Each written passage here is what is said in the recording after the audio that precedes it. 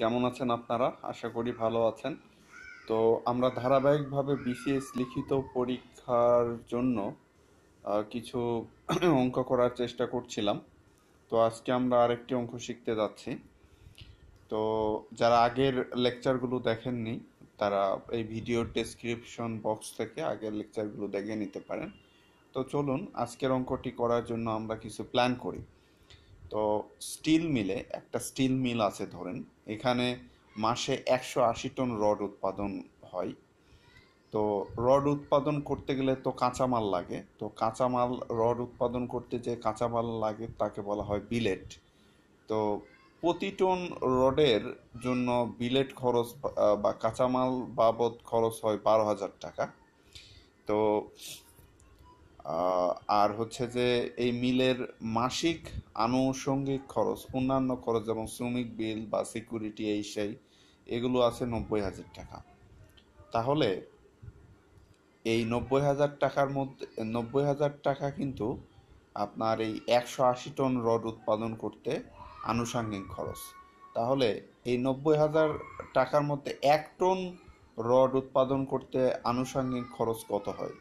কারণ হচ্ছে যে এখানে প্রতি টনের কাঁচা মালের সাথে যোগ হবে, প্রতি টনের জন্য আনুষঙ্গিক আনুষঙ্গিক খরচ।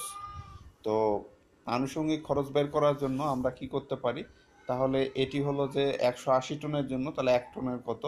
তাহলে এই নব্বই হাজারকে একশো আশি দ্বারা ভাগ করলে আমরা এক টনের আনুষঙ্গিক খরচ পাবো। তো এই আনুষঙ্গিক খরচ এক টনের জন্য যেটা পালাম, সেটাই বারো হাজারের সাথে যোগ করলেই মোটামুটি এক টন রডের যে ক্রয় মূল্য বা উৎপাদন খরচ আমরা পেয়ে যাব। তো এখন প্রতি টন উৎপাদিত রড কত দামে বিক্রয় করলে দশ শতাংশ লাভ হবে? তো তো এখানে আপনার, আমরা একটা সূত্র প্রয়োগ করে এটি করতে পারি। তো সেই ক্ষেত্রে প্রতি টন রডের উৎপাদন খরচ আমাদের লাগবে। তো এখান থেকে তো আমরা প্রতি টন রডের উৎপাদন খরচ বের করে নিলাম। তাহলে সূত্র দ্বারা আমরা এই অঙ্কটি করতে পারব। চলুন করা যাক। তো প্রতি টন রডের কাঁচামাল বিলেটের মূল্য বারো হাজার টাকা, এটা আমরা দেখলাম। আর প্রতি টন রডের আনুষঙ্গিক খরচ নব্বই হাজার বাই আশি, এটা আমরা বললাম, অর্থাৎ পাঁচশো টাকা। তাহলে প্রতি টন টনের প্রতি টন রডের উৎপাদন ব্যয় কত হচ্ছে?